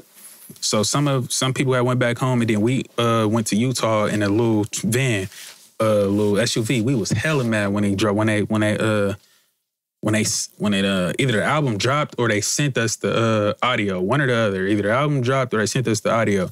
That's why the album is named SOBRBE E too, because we didn't want to do the album, so they just named it. S- So we had so we just named it SOBRBE E after the group because it was like we really didn't care about that shit. We was so stuck on what we was doing. We was like, bro, fuck it, like like an album. We don't give a fuck about that. We trying to drop some more videos because you know that's what was working for us. Right. That's all we know. So we like, man, fuck that album. So that's why I didn't get no name because we was mad. Like, bro, y'all niggas then fucked up the songs. Y'all took the songs, y'all remixed them. It sound hella dumb. We was hella mad. And so they was trying to get a name out of us. We wouldn't give them no name. We was like, I don't know, name it SOBRBE. Cause we was hot. We was mad. Like, bro, you niggas fucking our shit up. So the album come out or whatever. And shit. It became a classic. And things really start to take off from there. Hell yeah. That's after that, we ended up going on our own tour. And that shit was Y'all crazy. became a nationwide act. yeah. Pretty much one of the hottest groups in hip hop. Mm-hmm. Um, Coachella Mm-hmm. performance, Mm-hmm. Post Malone, 21 Savage, Mm-hmm. uh, tours, Yeah, tour. tour, uh, Kendrick Lamar, Black Panther Mhm. soundtrack. Uh, I mean, fuck, man, what am I missing? Uh, so many accolades. Yeah, we Oh, did a yeah. Marshmello album, Hit Boy album. Yeah. Um, Well, we did a Marshmello EP and a Hit Boy album.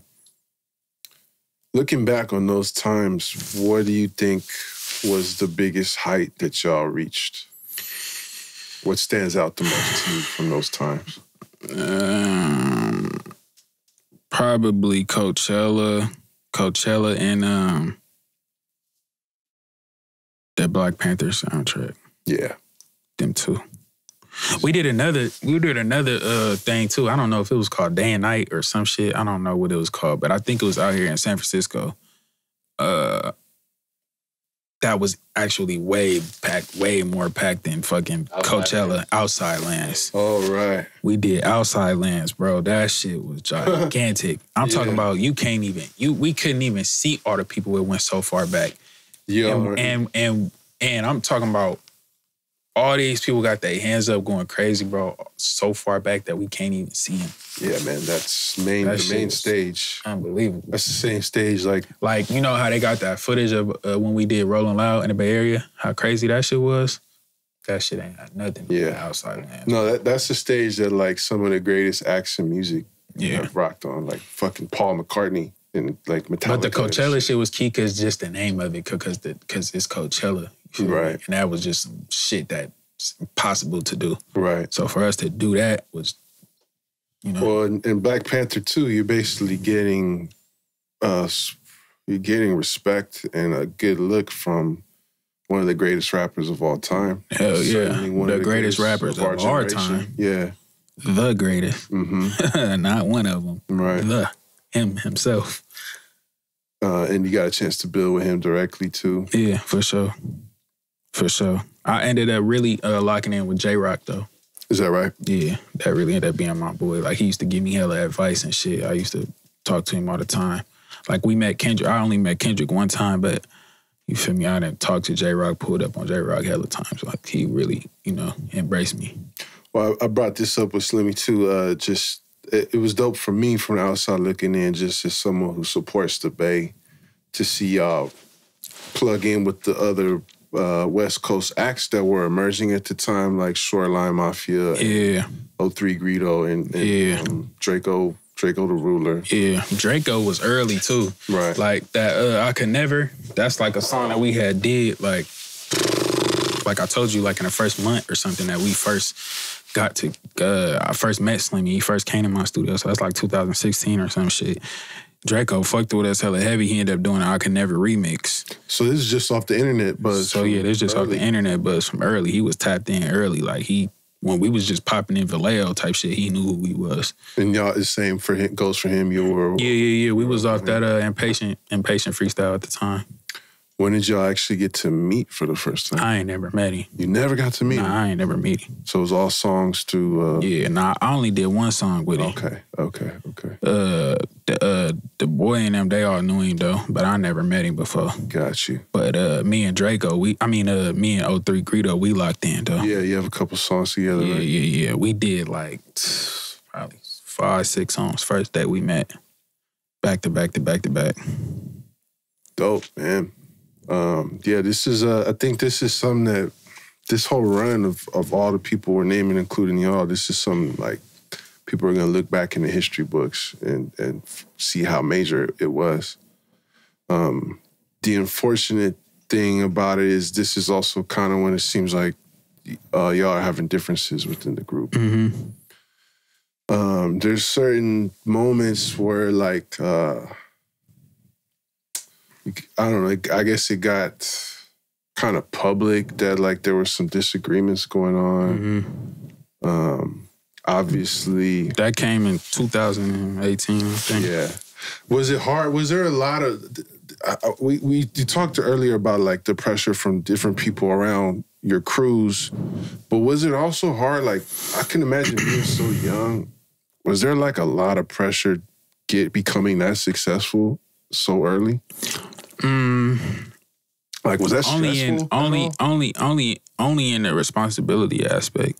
like you got to go to you the press become- run. You got to. Nah, nah, nah. Because you becoming the head of your family. ah, For me. so now you got money and That's that's you have that's that's where it, that's what it was. and that's something you do. All the the other shit that niggas be talking about, I don't know nothing about that. You just handled that shit. It's just another day at the office. Nah, that it's like it wasn't like that for us though. Like we, that's a narrative. They try to use that as a narrative to make a nigga seem like he Jimmy Neutron, big headed, on drugs, and can't be controllable. Like Oh, I that wasn't type of aware shit. of that. I was you know what I'm saying? Nah, but I'm telling you though, that shit. That's just a people that's just a saying that narrative, bro. That's Uh-huh. a narrative. That's not real, bro. We Right. had fun. Right, That shit was lit. right. Going on all these shows, doing all these tours, going here, going there, doing interviews, all that shit. That shit was lit, bro. Yeah. You feel me? That's just a narrative that niggas try to paint and make it seem like something, bro. But we was having a time of our lives, bro. It wasn't never no issue with nothing that had to do with music. Right. But you were dealing with uh, what you were saying with uh, family yeah, the issues came from from entitlement and not entitlement from each other, but entitlement from the people around us. It came from entitlement, like I said, being ahead of your family, and the entitlement is just from the the the. It still goes into the street aspect of it, because you get you all these people that's entitled is in the street. You get what I'm saying? So that's where different people click up, click to different people and try to build their inner circle and get close to different people to try to conquer and divide. But that all come from entitlement. Somebody wanting more than what they, you know, deserve.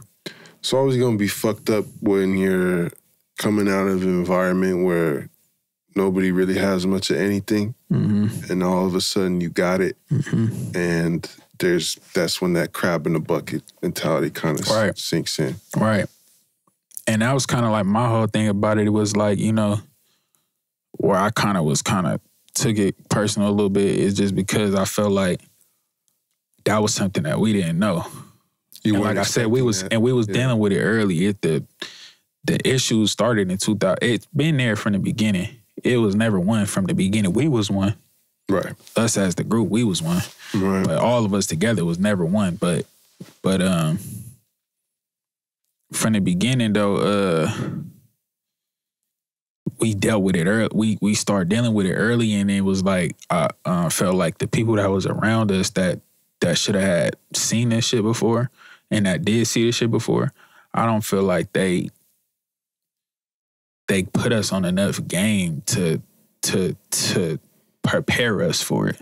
It's a lot. They kind of just let us crash ourselves. it's a lot to navigate for uh, such a young person. Um, and yeah, look, just again, this is all outside looking in. Mhm. It does seem like, yeah, there was probably a lack of guidance that, Yeah. that that y'all needed at the time, which is also hard to provide when everything's moving so fast and um, there's so many successes and so many uh, wins. Mhm. Um, well, for your next album, G is no longer in the group. Mhm. He he Well, actually, no. G wasn't was wasn't not in a group to our last album. Okay. So okay, so there's a there's a second. So album. there's uh, uh, SOBRBE, Gangin, Gangin Two, Gangin Three, Okay, sorry, sorry. uh, the Hit Boy One, and then it's Strictly Only Brothers. Okay, so obviously we don't have to get into this. So he wasn't he wasn't on the group in the Strictly Only Brothers part.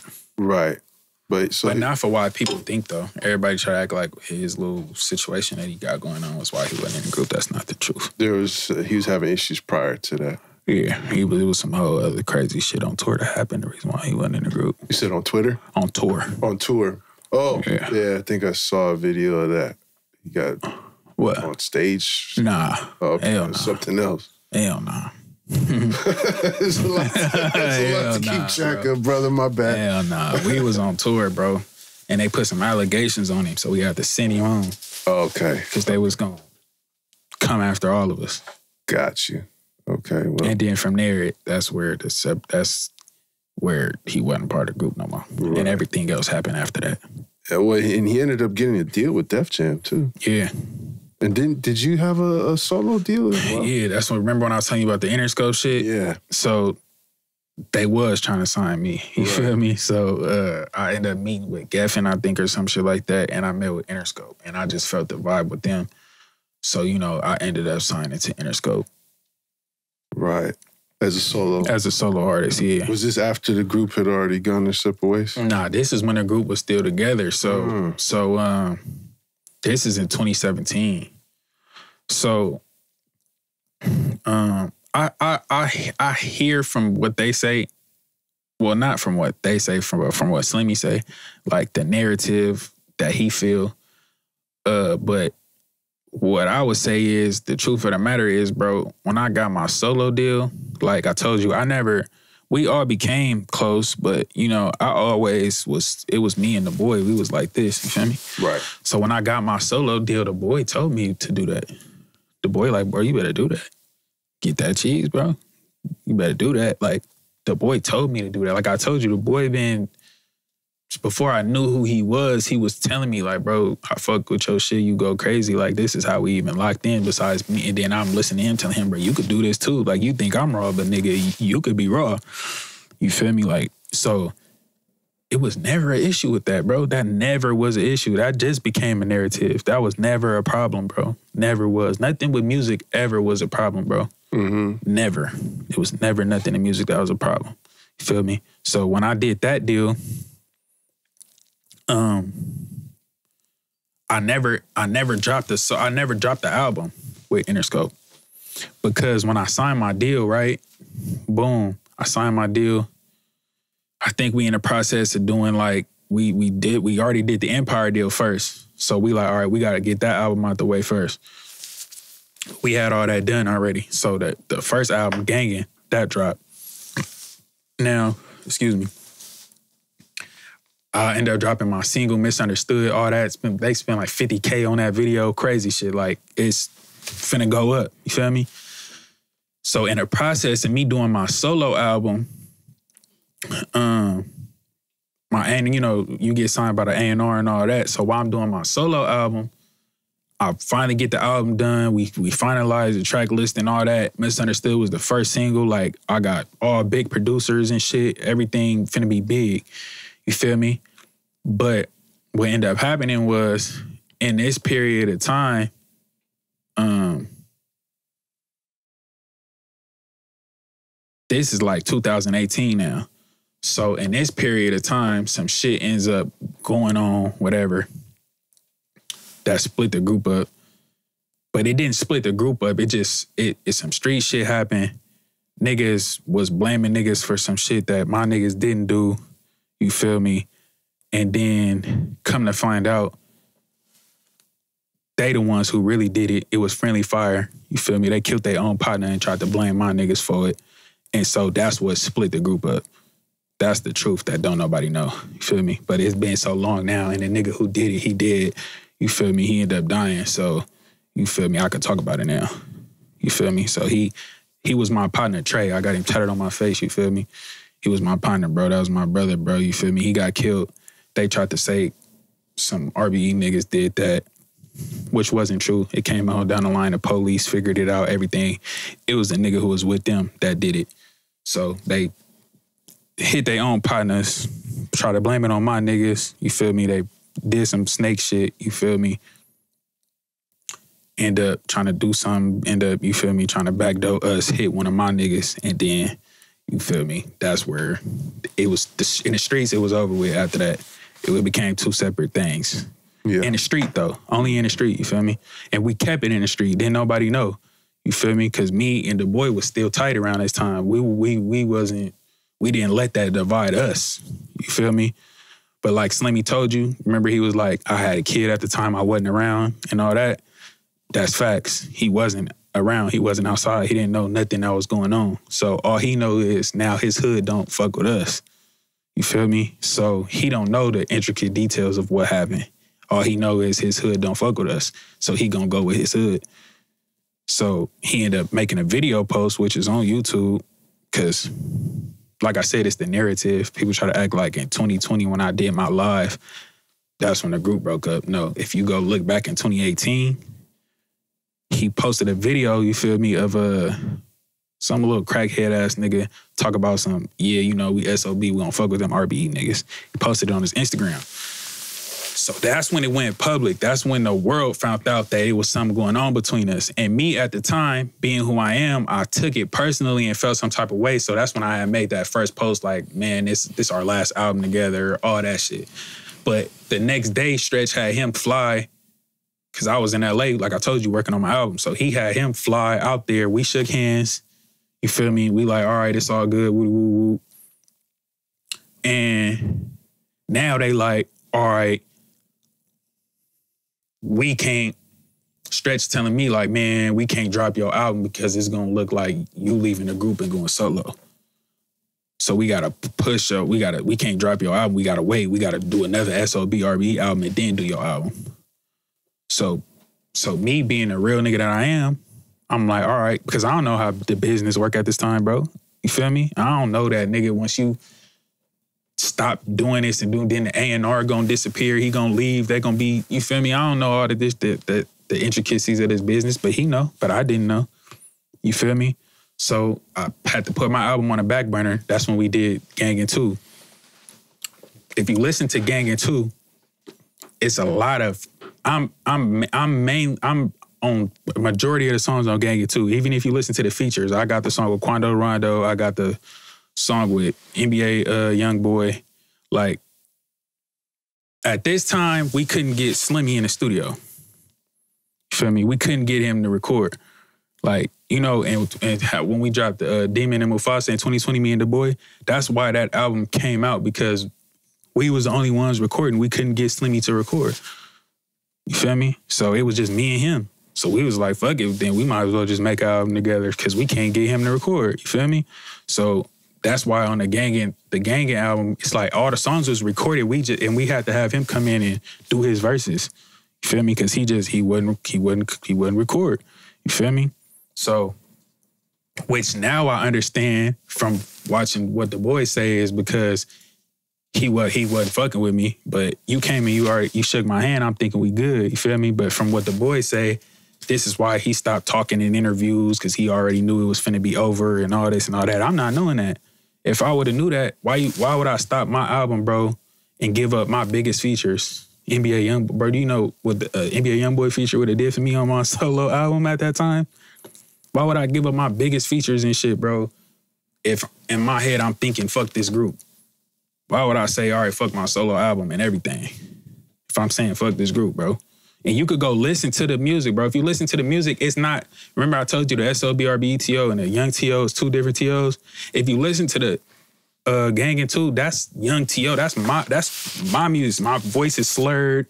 Like I'm on some slime, like trap, rock star shit. My voice changed, all that shit. I was going into a whole nother lane. You feel me? That was because I had to take all my solo shit and put it into this because stretch like, bro, we gotta make this big. We don't have no big records. So it'd be yo, it'd get a better look if you put your big songs on the group album instead of putting it on your solo album. And me not knowing at the time, I'm like, all right, fuck it, hell yeah. So that's why I'm the only, but if but if you look at the narrative though, it's oh T.O. think he this, he think he Drake, he boo boo boo boo. Nigga, how I think I'm Drake, cause the nick the this nigga telling us we need big records and he got me sacrificing my records, nigga, to put on this group album. You feel me? Like, so these these is just narratives that niggas be painting, but I be feeling like I so much of a real nigga, I don't be like I gotta speak on this shit, but this history of the Bay, so we gotta really tell the truth of how it went. You feel me? So boom, we do that album. Like I told you. I- can I just can we kind of pause you just Yeah. for a second, T.O.? Uh, you shared a lot, bro. Yeah. Just now, you've been carrying some heavy burdens, brother. Nah, for So sure. I just want to acknowledge that. I'm sorry for the loss of your friend. That is a crazy circumstance to be caught up in and have that be in the way of your career and your success. hmm And t- it's crazy that it hearing you say that ties back to what we were talking about the beginning of this interview of just the shit in the streets surrounding y'all hmm starting to change. For sure. And it's fucked up, bro, that um you know, we do this hip hop shit to get away from that. Hell yeah. And uh, I don't think, I'm glad you're sharing this because I don't think people realize that this is what you've been trying to do. You've been trying to do the right thing and go in this direction, and this is the shit that's surrounding you. And when you speak about the lives and the videos, because you heard me ask Slimmy about it, Mhm. this makes a little more sense, man, because there's a lot That's, the, of. that's why I'm telling you, because people looking at it like, what the fuck, this nigga going I- I- crazy. I- like I didn't look at it like they don't that. Know. I I'm not at it- saying you, no, but no, I'm no, just saying sure. in general. Right, people looking right. at it like, damn, this nigga lost his mind. This nigga going crazy. But you gotta think, bro. This is years of me sacrificing everything. Well, it's literal. It's literally lives being affected by Yeah, bro, I'm sacrificing yeah. everything, bro, and and y'all playing with me, bro. So at a point, all that shit gonna build up. So even though I try to go live about one thing, in the middle of me, I'm smoking this shit. So as I'm smoking, I'm getting higher, like nigga. So and I'm getting madder. So now I'm just spazzing out and I'm saying hella shit that, and I can't even stay on topic because nigga, I'm thinking about so much different shit that had happened over the years. Cause I wasn't even going on there to even go at them. You feel me? I was just mad about the situation with bruh and them specifically. You feel me? Mm-hmm. Cause it was just like, nigga. So when that situation I told you happened with bruh, right? One of the SOB niggas, he had an RBE chain. Cause that was my nigga D Butter. You feel me? He had an RBE chain. The, the chain that the niggas posted saying that they took was his RBE chain. I've been asking y'all for years, bro. What's up with that chain? I, I, can y'all get that chain for me? Cause y'all still cool with dude. I don't fuck with him no more, but y'all do. So could y'all get that for me? Cause I cause I got a feeling like he going like niggas gonna pull some weird shit, try to act like they took something, and then I'm gonna have to spaz out on everybody. Uh, this is a pre-warning, bro. This is in 2019 when I'm telling them that this is what's gonna happen if he do this. 2020 come and he do it. Now I'm mad at everybody. Now I'm mad at you because I feel like, bro, I asked you to avoid this. You supposed to be the top hat over here on this situation. You supposed to get your homie, but you can't. You ain't got no control. So now I'm. So now I'm saying that's why I'm like, all you niggas bitches, woo, woo, woo. You feel me? Mm-hmm. Because I'm like, how you let this happen? Like, you feel me? But I you know, that's It's It also what like it what you had said, man. Like, kind of, you're young, bro, and there's like, it seemed like you probably could have really used. Maybe you did have someone who was like, bro, don't go, don't go on the internet right now. Don't. I didn't though, bro. Yeah. That's why I'm telling you. Like Right. when you become in this position, bro, you become the head of your family. You become the head of everything, bro. So it's So it's hard to like. You ever heard the saying, "What I'm supposed to, uh, what I'm supposed to get somebody who got everything already?" Mhm. Like when Christmas and shit come around, you know, people will say some shit like that to you. Mhm. It's that mentality. It's what I'm gonna tell a nigga that I'm a guy him. He's I'm already, a guy him. He already up here. He supposed to be. He supposed to be showing me the way. He supposed to be putting me on. It's that becomes the mentality of the people around you. Do you think had had you had that type of uh, positive influence, if certain things were kept off the internet, that the situation could have uh, resolved differently, or was it already just uh, Um, beyond repair? Like I had said earlier, bro, I felt like, yeah, of course, looking back on it now, I feel mm-hmm. like people around us who knew what was going on, I don't feel like they took the proper steps, bro. Like, you would tell me, like, oh, yeah, I feel where you coming from, bro. You right. You feel me? But, hold on, right quick.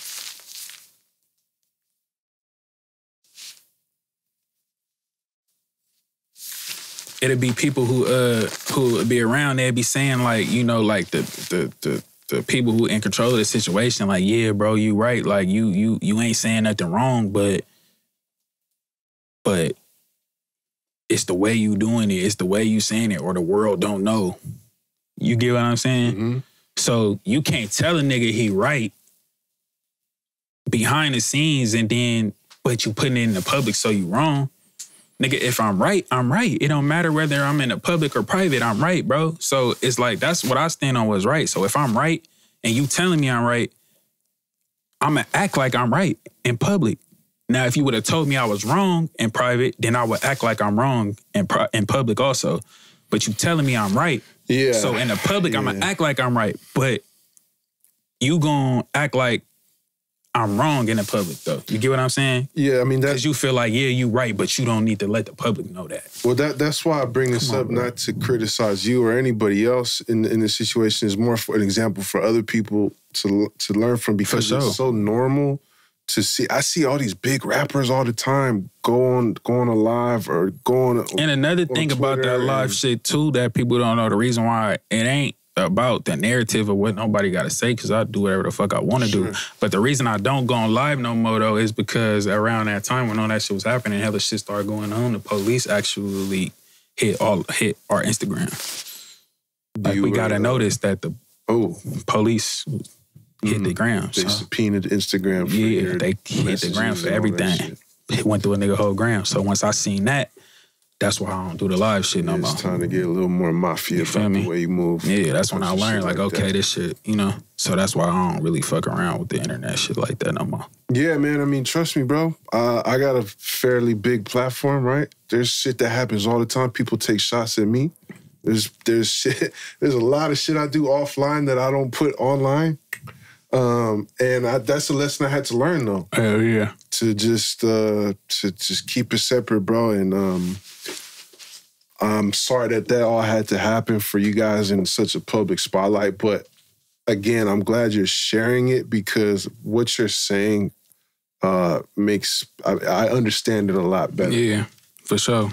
And I, I, w- I wish you would have had that positive guidance, but um it sounds like you've already learned from that situation. Yeah, of course, bro. Like you gotta think about it. Like I told you, bro, I came in this shit. I've been doing this shit since I was eight. We start popping when I was like 16. Yeah, Bro, I'm 25. I'm finna be 26 this year. right. This is 10 years of experiment of experience that a nigga didn't learn. So now you talking to a whole different person. Like I was a boy back then. I'm really a real man now, bro. I got a daughter Yeah, and hella yeah, shit. So yeah, I'm a whole different person than I was then. So I could look back with a bigger and I could tell you the real, not me being in my feelings, not me nothing, bro. Like I could tell you the real deal. Like, I you know, from a grown man perspective. Yeah, here it's I even tell you when I'm wrong. I tell you the right. truth, bro. It's com- it's coming off that way. You're sounding very mature, man, and uh, I could tell that all that shit happened. You were you were a different person.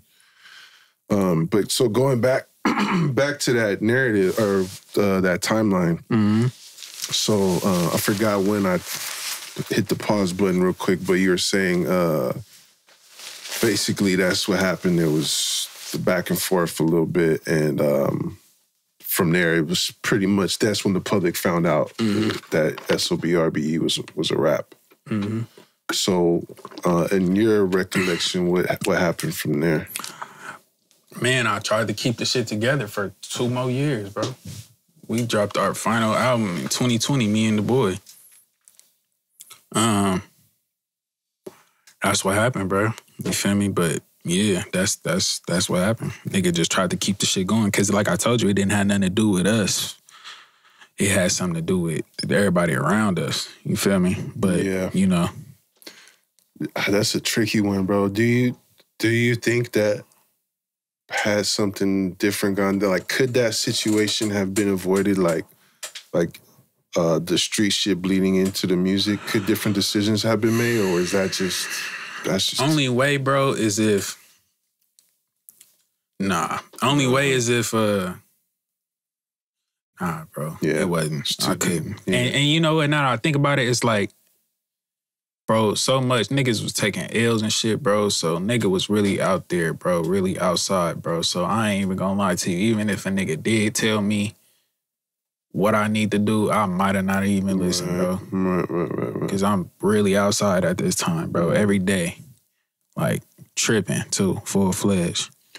Well, again, I think that that is the energy that is captured in your music, and Mm-hmm. people can say whatever they want about it, but that is that is some real shit. Mm-hmm. It's authentic. Um, so the group, the group uh, is is done, um, but you've continued to make music, Hell yeah. uh, and so the Interscope deal didn't. Oh yeah, so back to that shit, right? So boom. I do the uh we dropped the Gangin Two. Like I said, I gave my uh young boy feature, all that shit, put all did all that. So now when I come back and I'm ready to drop my album, my A&R gone. They, they feel left, me? uh, the A&R gone. Nah, he's still at Interscope, but now he done moved on. This nigga working Oh. with Travis Scott now. Wow. He ain't got time to. It's over with. Like I didn't. I I I, I blew my chance. But I didn't know that that's how this shit worked, bro. I'm not, I ain't never did this shit. I ain't never been in the music gonna- industry. Do that. You're gonna get come- those songs up and then come back and then come back and then come back and and then do Do you feel me my solo shit but Uh-huh. it was over with at that point they like oh it's over with so i had to get a new a&r you know when a new a&r come in they don't really get the they don't really get the credit really for you because they didn't really ain't the ones who signed you but so my original a&r was sycamore but he ended up leaving you feel me he ended up fucking with um travis scott doing all that at the time so, nigga, you with Travis Scott, what the fuck you need to come fuck with Yhung T.O.? You get what I'm saying? After he, at, at first, you was with me, but nigga, I didn't have you waiting for a whole eight, nine, however many months I had you sitting here waiting to drop this album. You own the bigger other things now. You feel me? That's that's how the label shit works. So now, when it's time for me to drop my album, I just gotta put some songs together to drop a tape. Feel me? So I ended up dropping the trust issues tape. And at this time, like I said, all this shit going on. So that was the trust issues. That's why the song Betrayal, I hope this shit don't come in between us for like all the music could tell you everything, bro. People just, I don't know, maybe they not listening or something. But if you listen to the album Trust Issues, I got all of us on the cover. I break it, break it all down for you. You feel me? This 2018. So then uh I drop another mixtape, which is on my mama too at this time I, I'm a I got Bearline. She my new A and R now, Bearline. You feel me? And uh, she she was cool as fuck, bro. I fuck with her still to this day. Like she fucked with me and everything, but it was just like it's it's gonna be hard to get them budgets approved now, bro. Like you get what I'm saying? Yeah. So now I went from getting fifty thousand dollar budgets and shit, dropping doing seven million on my videos and shit to doing 200k, 400k. Cause nigga, I don't got that label push behind me no more. So now I don't, you know, and this shit all marketing and shit. So you know, I don't got the label behind me no more because nigga, I said fuck my solo shit and went to do this group shit. So now I'm suffering on my on the solo end. So now I'm like, shit, I ain't got no choice but to just keep trying trying to make this shit work. Cause nigga, my solo shit, I didn't blew it, and I'm in a and I'm in a label. I'm in a, a record deal, bro. So everything go through them. So I can't drop unless they tell. I could say I could drop. I can't do nothing unless they tell me I could do nothing. So now I'm stuck, bro. You mm. feel me? So now I got no choice but to try to make this group shit work. Cause nigga, I'm not finna get paid from this label shit no more. I can't drop an album. Only way I could get paid is if I drop an album. But I can't drop an album. It's over. You feel me? So I gotta try to make this shit work. And then that's fucking my solo shit up even more because I'm paying less attention to that and I'm more focused on this. So I'm I'm making it hard on Bearline because she can't even really fucking go all in and do all this shit. Cause nigga, I'm oh we doing this, we doing that. So they gotta she gotta structure everything around what we doing as a group. You feel me? So that's making it hard on her. So I don't even blame her. You feel me?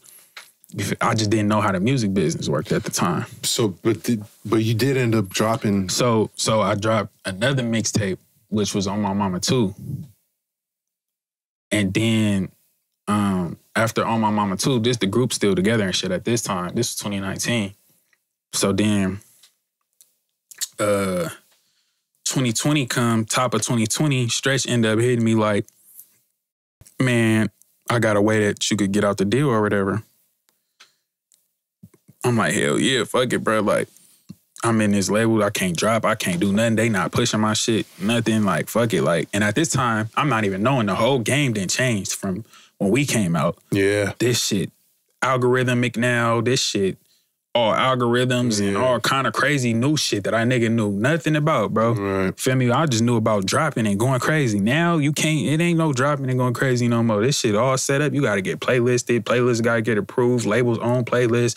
All kind of crazy shit going on now that I know nothing about. So I'm thinking I'm finna just lead this label. With y'all, it was all organic, Yeah. and this era is No, it's not. like it's not organic no more. So I'm thinking I'm finna just leave this shit, and that's crazy, right? Because that's only three year difference. Yeah. Shit changed that Shit much in three fast. years. So uh, we I uh leave 2020. Um, I leave out the deal and shit. You feel me? And uh, I start going independent. But at this time, this when the group break up and shit. And I, and as a and what my mindset is like, cause I'm a realist, bro.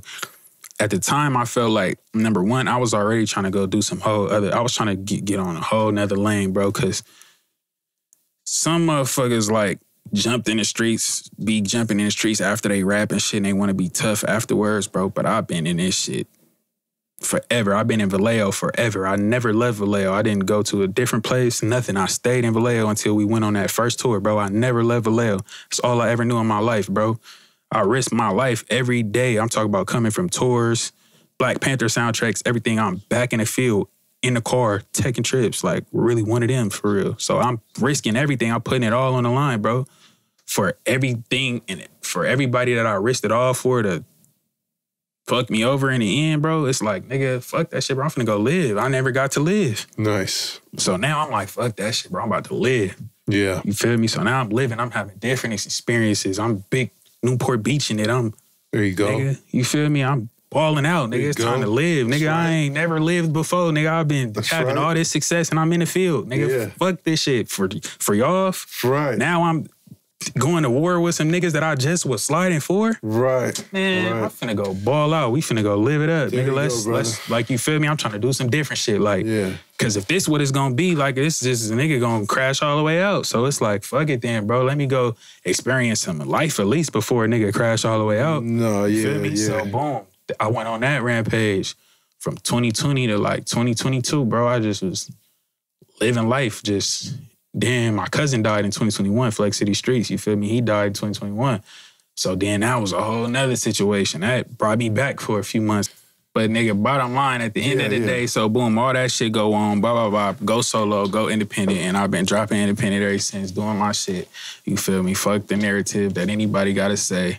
You feel me? Niggas made history. This shit legendary. I'ma forever be legendary. I got six plaques. You feel me? Platinum, gold. I got shit outside the group that's gold. I'm him. You get what I'm saying? So, you know, at the end of the day, too, another thing I wanna say before we go Yes. is that people look at us now and they say SOBRBE, them niggas dumb as fuck. They fumbled. They dropped the ball. No, the Bay Area dropped the ball. Y'all dropped the ball because when we was in position and we was dropping these albums, y'all wasn't supporting us like y'all was supposed to. Well, y'all was mad at us because we was getting outside the Bay Area. Y'all made niggas have to come back to the Bay Area and start just doing local shit to love niggas again. That's what mm-hmm. y'all do to every artist that get big and outside of the Bay. Y'all say, fuck them, they ain't out here no more. You feel me? And then now they gotta come back and say fuck all the shit, the bigger shit that could take the Bay Area to a bigger place. They got to sacrifice that now to please the Bay. So not only did we drop the ball, but y'all dropping the ball too. Y'all got to support y'all artists when we make it to the top. Don't be mad. Just keep supporting, bro, because that's why we can't get nowhere. Because every time an artist get to the top, and you could go with every artist from the Bay, not just us, any artist from the Bay besides E40 and Too Short. Once we get to the top, and make it outside the Bay, the Bay Area don't fuck with us no more. Then we gotta come back to the Bay. And while we come back to the Bay, we please the Bay, not the Bay back fucking with us again. But everybody else, like, I agree. On some local I shit. agree 100, percent man. After I dropped this the Slimmy podcast, I saw a lot. I know I, I'm a I'm a hater hater. I hate hater shit. yeah, And um, You know, motherfuckers just love to, like you say, spin a narrative, talk shit, uh, kick legendary people when they're down, and I, I I'm not with that. And I think we got to change that narrative and support sure. each other. I think, like you said, just on some straight up facts, man. Y'all changed the game. Y'all had a uh, y'all y'all have a legendary run. You're still you're still hella young, For bruh. sure. You, you're all talented, um, sure. and you've been dropping music. You're dropping, sure. putting out new music. You're, you know, just in my first time dealing with you, you're very professional, bro. And I feel like there's so much more to, to be done, and it's Hell not yeah. over. And uh, the shit don't stop, man. Hell yeah. So shout out to y'all too, man, for letting motherfuckers come up here and tell the Bay Area history the way it's supposed to be. Cause you know, we influenced a lot of shit in this music industry and we don't get our proper uh credit for it. So you feel me? It's time for the Bay Area to take over. Absolutely, bro. We're gonna bring TL back. It was For a sure. pleasure to meet you, bro. Appreciate it, Brody. Um, I really appreciate hearing your story, and like I said, uh, we're here to support you anytime you need the platform, man. Yeah, yeah, good looking, bro. For sure. Dregs One, Yhung T.O. Shout out to the whole team. Technical difficulties ain't stopping shit. we this was a legendary interview. We're gonna run it right back, man. See y'all next time. Peace. Recognize where you got the game. We got our own style, got our own slang. Northern California is a West Coast thing. This is the history of the Bay. Recognize where you got the game. We got our own style, got our own slang. Northern California is a West Coast thing. This is the history of the Bay.